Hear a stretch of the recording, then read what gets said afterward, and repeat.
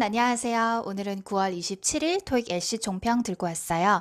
어, 오늘 전반적인 난이도는요, LC 중중상이라고 말씀드릴 수 있을 것 같고요. 좋아요, 구독! 먼저 파트 1은요, 만약에 어, 시험장 가기 전까지 빈출 어휘들을 싹 정리하고 암기하고 가지 않은 학생들이라면 어, 어, 이거 좀 어려운데 이렇게 느낀 학생들도 있을 거예요. 하지만 어, 저는 시험을 계속 보고 있잖아요. 엄청나게 막 난이도 상 이렇게 보기는 어렵고요. 어, 기존에 나왔던 어휘들이기 때문에 그리고 여러분 알고 계시죠? 우리의 무기 오답 속어 방식을 철저하게 고수하면서 전체적으로 못 알아들었다 하더라도 특정 단어에서 속어 했다라고 한다면 충분히 맞출 수 있는 수준이었습니다. 그래서 파트 1은 전 중중상이라고 말씀드릴 수 있을 것 같고요.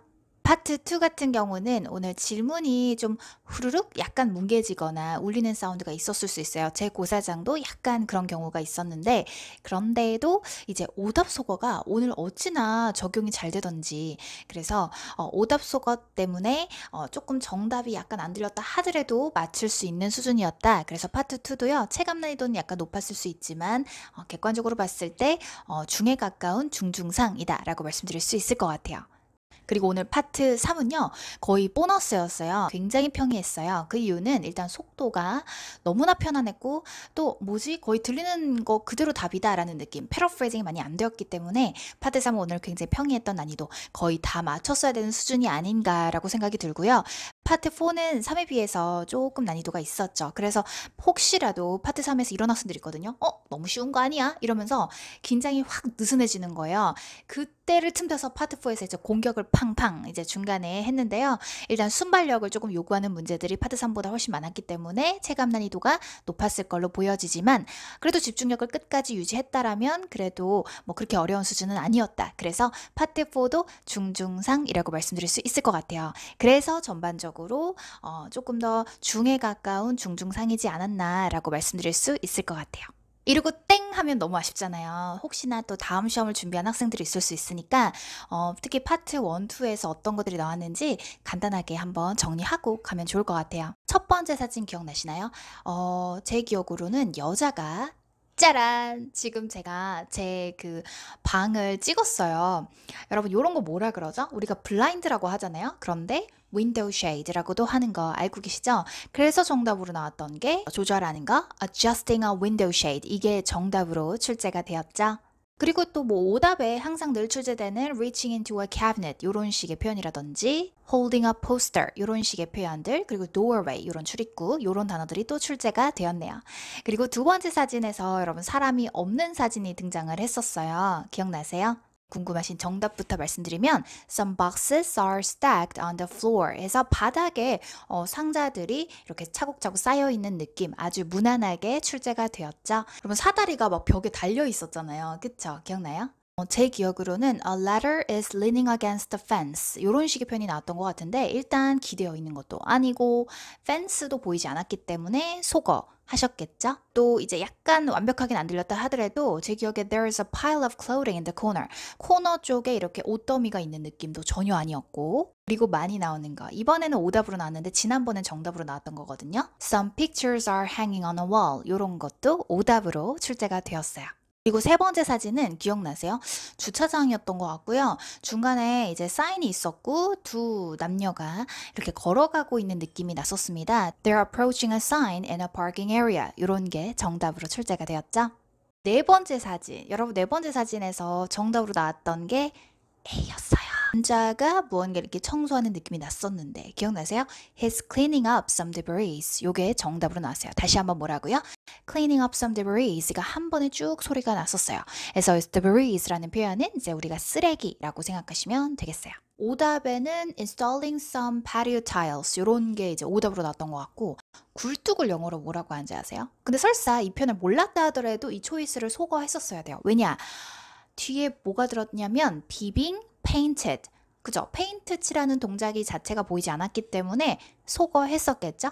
그래서 여러분들이 꼭 기억하셔야 될 건 내가 모르는 어휘가 그 문장에 섞여 있다고 하더라도 설사 내가 못 알아들었다 하더라도 다른 데서 소거할 수도 있다라는 거 잊지 마세요. 그래서 이제 오답에 a brick chimney라고 해서 우리가 이제 굴뚝이라고 하죠. 굴뚝이 이제 페인트 칠 당하고 있는 느낌 전혀 아니었습니다. 그리고 이제 그나마 헷갈렸을 법한 거라고 한다면 이제 빗자루 같은 게 보이긴 했었는데요. 우리가 보통 장대가 긴 이런 빗자루를 broom 혹은 broomstick이라고 하는데 그 broom이 이제 벽에 기대어져 있다. broom has been propped against the windowsill 이라 그러죠. 오답으로 이번에 출제됐었어요. 근데 여러분 알고 계시죠? 이번에 오답으로 나왔다 하더라도 다음 시험에서는 또 정답으로 나오기도 하니까 꼭 기억을 해주세요. 이번에는 정답으로 나왔던 게 There's a deck overlooking a lake. 레이크를 위에서 이렇게 내려다보는 느낌의 deck이 있었다. 요런 느낌이 이제 사진에 출제가 됐었어요.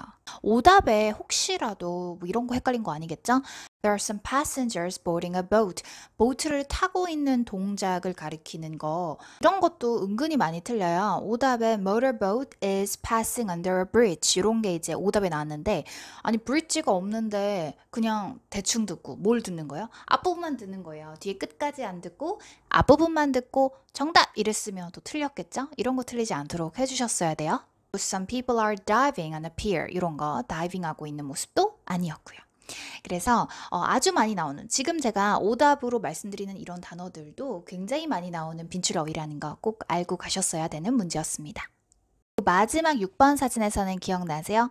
어, 사람들이 문서를 보고 있었죠. 그래서 some of the people are examining a document. 요게 정답으로 나왔죠. 오답에는 waiting in line at a checkout counter. 요런 게 이제 오답으로 나왔던 것 같고 typing on a laptop 이런 것도 보이지 않았고 beverages are being poured 해서 이제 뭔가 따르고 있는 동작의 느낌도 전혀 아니었습니다.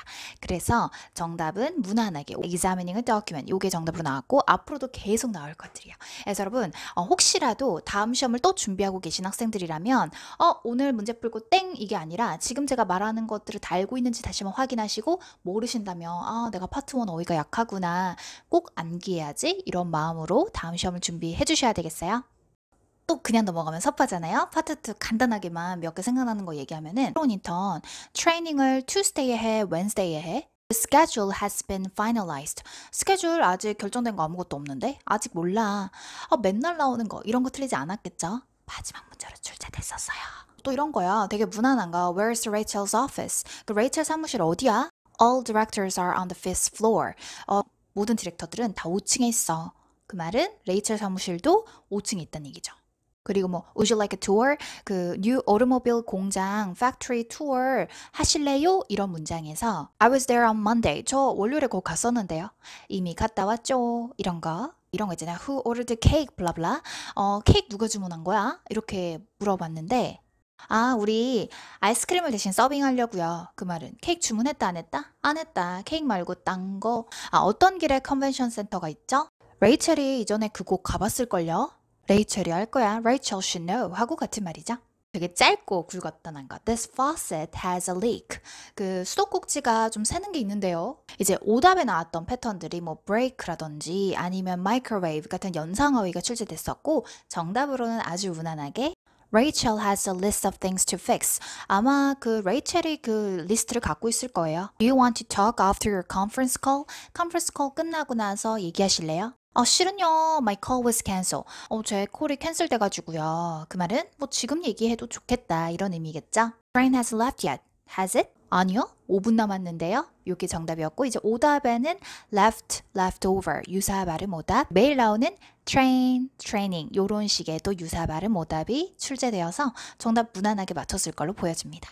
제가 매번 강조드리는 건데요. How did your presentation for the client go? 야, 그 클라이언트 presentation 어땠어? It went very well. 너무 잘 됐어. 이런 식의 표현 정답으로 나왔죠. 좋아요, 구독. 솔직히 기억 잘 안 나죠? 아, 기억 안 나는 거 정상이에요. 어, 내가 오답속어로 풀었다면 당연히 정답이 잘 기억나지 않을 수 있습니다. 괜찮아요. 일단 여러분, 어, 여러 가지 악조건에서도 끝까지 포기하지 않고 여기까지 오신 것만으로도 저는 정말 대단하다고 생각해요. 너무너무 고생하셨고, 어, 뭐, 다음 시험을 준비하시는 분들은 조금만 더 힘내시고, 어, 이번 시험이 정말 마지막이었다. 그래서 난 정말 끝이다 하시는 분들은 어, 차분하게 저랑 같이 결과를 기다려보고요. 어, 좋은 소식 저에게 많이 많이 들려주세요. 그러면 모두 고생 많으셨습니다. 우린 다음 시간에 만나요. 안녕. 아, 좋아요, 구독.